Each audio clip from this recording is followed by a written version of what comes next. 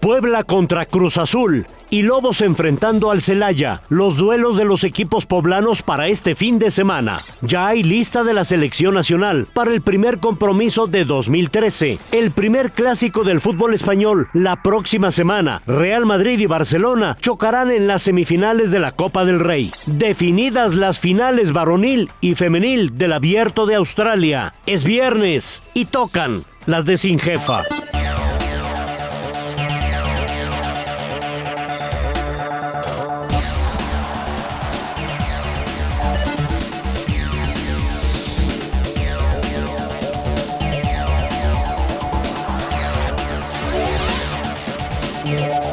Amigos? Bienvenidos a Tribuna Deportes. Qué bueno que nos acompañan en este viernes, inicio de fin de semana. Y vaya que va a ser un fin de semana muy, pero muy intenso en materia deportiva. Y aquí le vamos a presentar todo el análisis de lo que está ocurriendo y de lo que va a ocurrir. Así es que quédese con nosotros. Qué bueno que nos está acompañando. Me da muchísimo gusto saludarle y saludar también a mis compañeros en esta mesa del debate y de la polémica. Don Enrique Montero Ponce, nuestro director general. Don Enrique, ¿cómo está? Bien, muy bien. Pues ya el fin de semana ya estás pues relajado, ¿no? Preparándose para ver el juego de mañana. Sí, claro. ¿En televisión? ¿En, televisión? No, no, ¿cómo? Mañana voy al estadio. Ah, usted sí va a ir al estadio azul.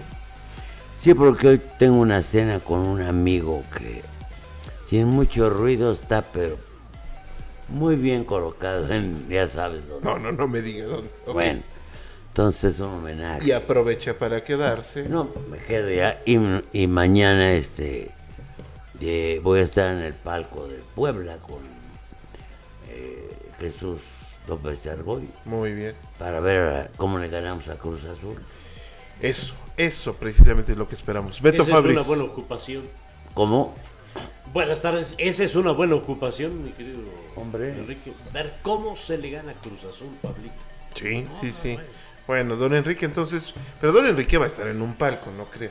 Nuestro enviado sí va a estar en las tribunas. Ernesto Romero va a estar allá también. Ah, en el estadio Azul haciendo la cobertura precisamente. Saludamos también a Ingrid Martínez, quien nos va a estar dando todo el avance de las redes sociales. Ingrid, muy buenas tardes. Muy buenas tardes, claro que sí, toda la información de redes sociales, aquí la tendremos más en un momento. Bien, gracias. Estaremos yendo más adelante contigo. Vámonos con la pregunta del día, precisamente el tema del Puebla de la franja. Fíjense, desde mil, desde, perdón, desde 2009 el Puebla no vence a Cruz Azul allá en el Estadio Azul. Terminará esta racha. Desde 2009. Sí. Estamos en el 2002. 13. 12. 13. 13, 5 años. Sí, sí, Entonces, hace cuatro años que no le ganamos. Allá en el Azul. Terminará pues le vamos a ganar. Pronóstico. Yo pronóstico que no gana Cruz Azul. Eso lo dejas abierto al triunfo o al, al triunfo del pueblo. Ingrid. Yo creo que un empate, señor, 1-1. Yo creo que de acuerdo a lo que hemos visto, el Puebla sí tiene posibilidades de, darle un susto. Y algo que con lo que coincido con, con don Emilio Maurer es que quizás el Puebla vaya a jugar más suelto de visitante que con la presión de, la, de casa. Entonces esa puede ser una buena oportunidad sin descartar que el Cruz Azul es un equipo invicto, es un equipo fuerte en su casa y que tiene grandes jugadores. Pues sí. Sin duda. Bueno, participe con nosotros. Terminará esa racha de 2009 en relación a que el Puebla no le ha podido ganar a Cruz Azul en el estadio precisamente azul allá en la capital del Distrito Federal. 232-8000, la cuenta de Twitter, arroba Tribuna Deportes para que participe con nosotros. Y vámonos de inmediato con la nota del día.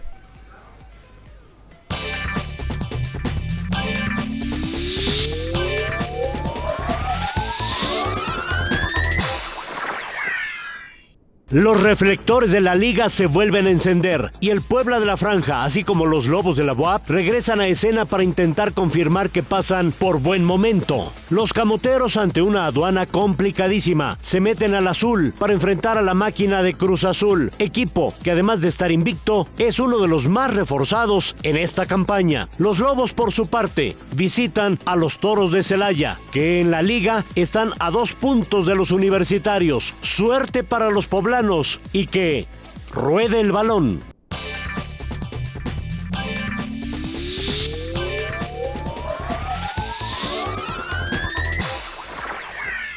Muy bien, ¿cómo ven este partido?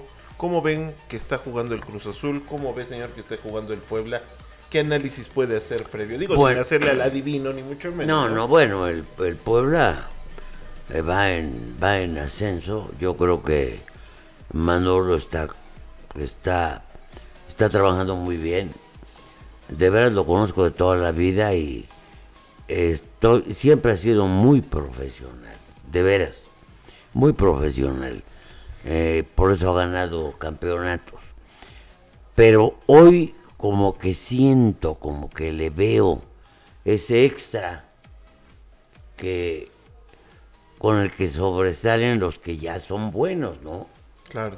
En este caso, yo, yo siento que como que tiene el Puebla, que es su equipo consentido, pues jugó ahí, terminó de jugar.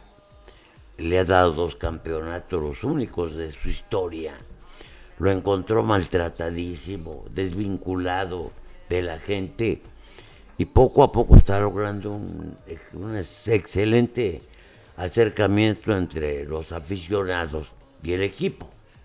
Entonces yo al Puebla lo veo bien, bien dentro de lo que se ha podido lograr. Sí, con lo que tiene. Eh, con lo que tiene ahora. Cruz Azul, bueno, Cruz Azul le sobran jugadores. Digo, más ve la banca de Cruz Azul. Cruz Azul es un, es un equipo. Es un equipo respetable siempre aunque no ha, no ha conquistado los títulos que merecía tanto gasto, tanto desembolso, eh, tantos técnicos que han pasado por ahí. Es impresionante la cantidad de técnicos. Y jugadores. No, no, jugadores. De todos los calibres. Exacto. Pero es un gran equipo, indudablemente. Pero bueno, vamos por ellos. El paso de, Cruz Azul es de invicto, ¿eh? Hasta el momento trae etiqueta de invicto. Sí, es, eh, es muy cierto, Pablito, lo que, lo que dices. Un Cruz Azul que está invicto, que marcha, marcha muy bien. Es una temporada también que apenas empieza, no es todavía larga. Cruz Azul tiene en casa un partido jugado, dos goles a favor, uno en contra. Pero bueno, aquí eh, es, eh, yo, yo me iría por dos cosas también muy interesantes. No es el mismo Cruz Azul que nosotros vimos aquí contra Lobos el que ahora va a jugar. Es, es, es otra, otra cosa, es otro, otro tipo de equipo, aunque si bien es cierto también con jugadores muy interesantes. Eh, pero la balanza se puede inclinar por dos cosas para, mi gusto. Una de ellas es que hay un director técnico con muchísimo rodaje, con toda la experiencia, eh, uno de los técnicos más experimentados del fútbol mexicano en estos momentos, que es Manolo Lapuente, que ha estado sujeto a grandes presiones, a manejo de jugadores, desde los más dúctiles hasta los más difíciles, y ha sabido salir adelante en todo eso. Por el otro lado está un director técnico que es muy joven, muy novatón, podríamos decir, quizá eh, dentro de ese aspecto comparativo con lo que es el, el, otro. fútbol mexicano, ya campeón, ¿eh? sí, es, cierto, ya campeón en el fútbol mexicano.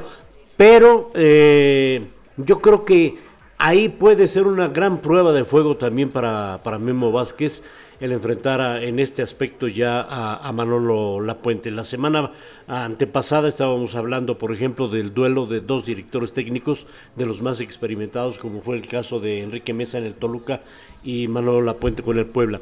Pero al final de cuentas lo que va a inclinar la balanza no es solamente la estrategia que Manolo Lapuente la pueda desarrollar muy bien a comparación de lo que pueda desarrollar Memo Vázquez, sino lo que va a suceder en la cancha. Y lo que tú mencionabas hace rato, Enrique, es muy cierto. La diferencia entre los planteles es muy grande. Puede ser esa un factor que pese, pero al final de cuentas, también el Puebla, sus jugadores, tienen lo suyo.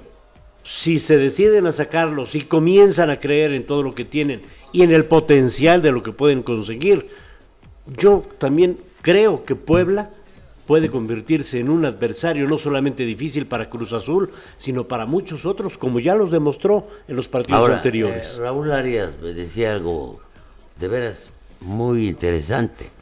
Me decía, a ver, un equipo, de, un equipo debe tener líderes. A ver, vamos a ver, en el, en el América, por ejemplo, un líder, Benítez, Sí, yo creo que, que sin es duda- el único, ¿no? Pues el único. Bueno, ¿a qué se refiere con, con liderazgo? A ver, en- que en que cada grita. línea ten- que en cada línea tengas un una un, un nombre importante. Por ejemplo, dice, el éxito de Choros, ¿a qué se debe? Pues a que en la defensa central, en la media y en la delantera, incluyendo al portero, en la columna vertebral, tiene los tres líderes que necesita un equipo. Ahorita, ahorita me imagino por dónde va. ¿Podemos regresar con ese tema precisamente después de la pausa? Debemos. Debemos regresar con ese tema y analizamos Lobos y la jornada 4. Es breve la pausa, volvemos.